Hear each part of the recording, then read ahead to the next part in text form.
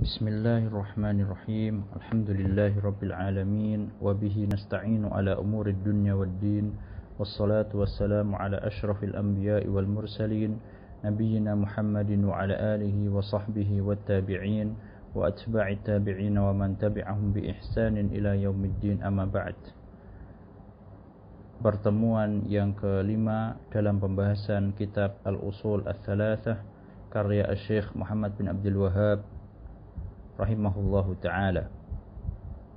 Setelah pertemuan yang keempat kemarin kita membahas tentang e, ditutup dengan pembahasan tiga pertanyaan yaitu siapa Robmu, apa agamamu dan siapa nabimu yang mana itu merupakan e, pertanyaan yang akan ditanyakan di dalam kubur tiga pertanyaan yang akan ditanyakan kepada kita di dalam kubur kita maka penulis pun mulai untuk membahas satu demi satu yang berkaitan dengan pertanyaan tersebut. Yang pertama yaitu tentang mengenal Allah. Di sini disebutkan faida qila laka man rabbuk. Apabila dikatakan kepadamu siapa Tuhanmu?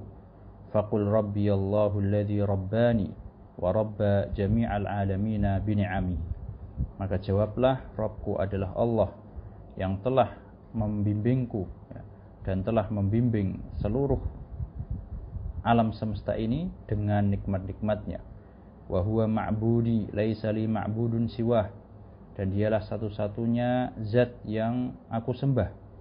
Tidak ada zat lain yang berhak aku sembah. Wa dalilu qawlu ta'ala. Dalilnya adalah firman Allah Ta'ala. Alhamdulillahi Rabbil Alamin.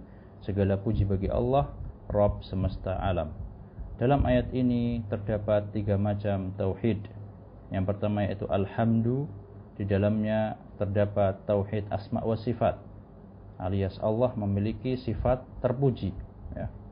kemudian dalam kata lillah yaitu bagi Allah di dalamnya terdapat tauhid uluhiyah yaitu mengesahkan Allah dalam eh, perbuatan-perbuatan ibadah seorang hamba ya.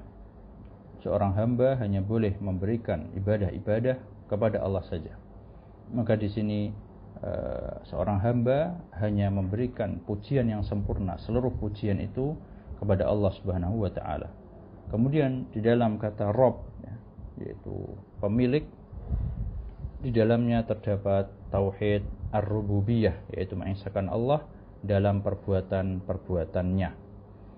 Karena kita meyakini bahwasanya pemilik alam semesta ini adalah Allah Subhanahu wa taala yang mengatur alam semesta ini yaitu Allah Subhanahu wa taala. Sehingga dalam ayat alhamdulillahirabbil alamin terdapat tiga macam tauhid yang telah kita jelaskan tadi.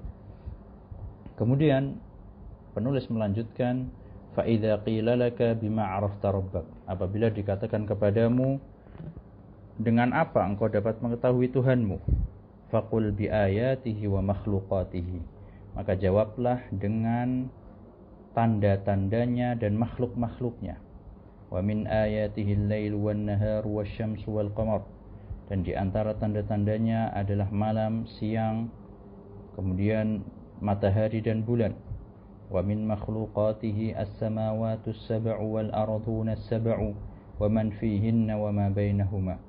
Dan di antara makhluk-makhluknya adalah langit yang tujuh dan bumi yang tujuh tujuh lapis maksudnya dan apa-apa yang ada di dalamnya atau di antara keduanya yang berada di antara langit dan bumi. Di sini penulis membedakan antara tanda-tanda Allah dengan makhluknya, ya. yaitu di sini dibedakan kalau tanda-tanda itu yang bisa berubah, ya. Contoh malam bisa berubah menjadi siang, matahari bisa berubah, kemudian datanglah bulan, ya itu di sini dibedakan oleh penulis karena untuk yang tanda-tanda itu adalah yang keadaannya bisa berubah ya. Adapun makhluk maka ya seperti itu terus ya. Bumi ya bumi terus, langit langit terus begitu ya. Ini uh, alasan yang dijelaskan oleh ulama kenapa di sini penulis membedakan antara tanda-tanda Allah dan makhluk-makhluk Allah. Dan setiap makhluk itu menunjukkan akan adanya Allah Subhanahu wa taala setiap makhluk yang ada dalam alam semesta ini itu menunjukkan adanya Allah ya. Karena tidak mungkin sebuah makhluk bisa menciptakan dirinya sendiri ya. Dia bisa menginginkan apa yang dia inginkan ya. Karena kalau seperti itu akan kacau ya. Jadi seluruh makhluk yang kita dapati dalam alam semesta ini itu menunjukkan kalau ada yang menciptakan mereka. Tidak mungkin mereka tiba-tiba ada memilih untuk jadi ini jadi itu ya. namun karena adanya Allah sehingga dia menciptakan makhluk-makhluk tersebut dan terjadilah keseimbangan yang dapat kita uh, rasakan di alam semesta ini. Wallahu alam. Demikianlah uh, pertemuan yang ke lima dalam pembahasan kitab Al-Usul As-Salasah wa sallallahu ala nabiyyina Muhammad wa ala alihi wa sahbihi wasallam. Materi audio ini disampaikan di dalam grup WA Kebut kelas Kitab Tuntas Surabaya Mengaji. Untuk update informasi dan konten dakwah kami, bisa mengikuti media sosial Surabaya Mengaji. Barakallahu fikum.